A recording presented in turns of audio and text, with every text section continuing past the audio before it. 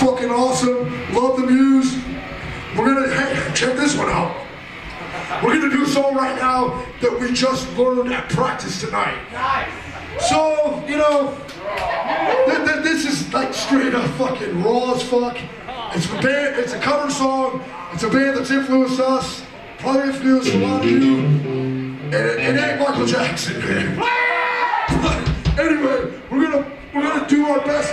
We literally learned how to do this song tonight. But hey, man, we're gonna have some fucking fun with it. And uh, on the fucking chorus, if you know it, scream it with us. I bet I bet a few of you know it. Let's go.